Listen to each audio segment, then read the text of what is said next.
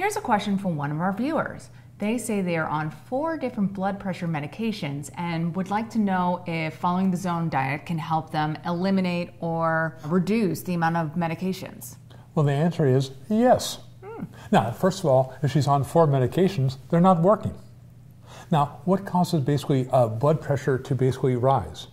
Constriction of the vessels. Now, the zone diet is one basically to basically cause, and that's caused by inflammation. The zone diet is a proven anti-inflammatory diet. It reduces inflammation so you don't have the constriction of the vessels and therefore blood pressure is more normal.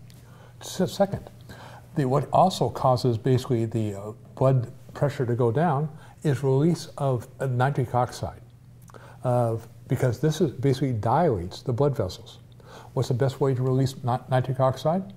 To increase the activity of AMPK in the cells that line the uh, arteries. So how do you do that?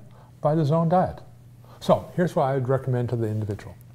Follow the program and really follow metabolic engineering as a complete program in, with those four medications. If the blood pressure begins to go down, ask the doctor to start removing them one at a time.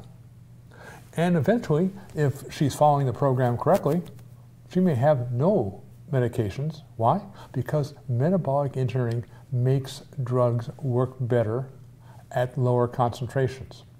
And the more you follow metabolic engineering, the likelihood you can reduce the amount of drugs you're taking to treat a chronic condition can be dramatically reduced.